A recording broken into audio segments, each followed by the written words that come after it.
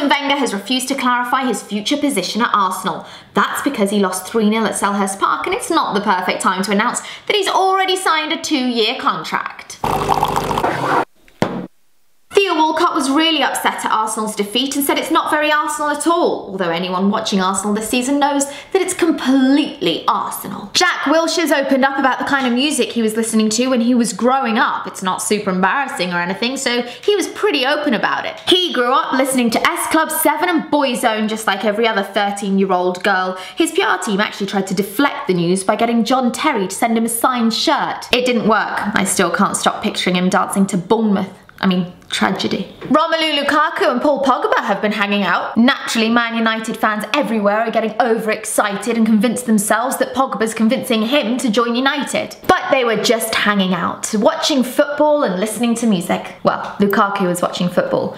Pogba was listening to music. Pogba literally had his headphones in all night. He must be wonderful company. This is clearly the work of wonder agent Mino Raiola, who represents both players. Lukaku probably just wanted more Instagram followers and of course another mention on my EPL. You win, Raiola. You win. I told you Marouane Fellaini was the most popular man in Manchester. Now his popularity has peaked as he captained his team to a win against Sunderland. Having Marouane Fellaini as captain of your team is probably the most brutal taste of reality for Man United fans. They're used to their list of captains being people like Giggs, Keane, Gary Neville and Cantona. Now they can add Fellaini to that incredible list of leaders. And it gets worse. I mean, he was only captain because Chris Smalling wasn't available. What does Mourinho see in him? Everton versus Leicester may have finished 4-2 and been one of the most exciting games of the season, but there's one thing in that game that really stood out for me. It was the hottest day of the season and Islam Slimani wore woolly gloves.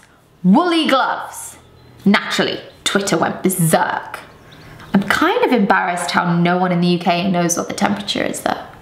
Ever since Balotelli left the Premier League, there's been a gaping hole in our hearts. Nothing to do with the football, he was piss poor on the pitch, but the stories that surround the beautiful game. You know the ones, the romantic ones, like when he took his brother to a women's prison to find a wife, and the action ones, like when he set fire to his own bathroom using fireworks. We miss those stories, and there's still a hole yet to be filled.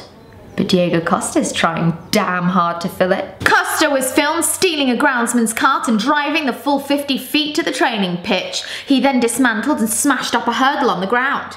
He's trying, but he's no Balotelli, is he? Struggling with a bib is where their similarities end. Smashing up a hurdle is hardly rock and roll. If Costa wants to be a hard man, he's gonna have to do something newsworthy, like vandalizing a teammate's car or flooding Cobham. Then he'd be on my Balotelli scale. Lucas Perez and David Ospina are in trouble. they weren't named on the team in the last game, so they were at home, and their actions, I think, perfectly illustrate the desperate times at Arsenal. They weren't even watching. They weren't watching the game. They were playing PlayStation instead. How do we know this? They actually Instagrammed their gameplay during the actual game. Now what does that say about the team? Eh? I don't often talk about Crystal Palace. That's because they're managed by Sam Allardyce and I'm still protesting.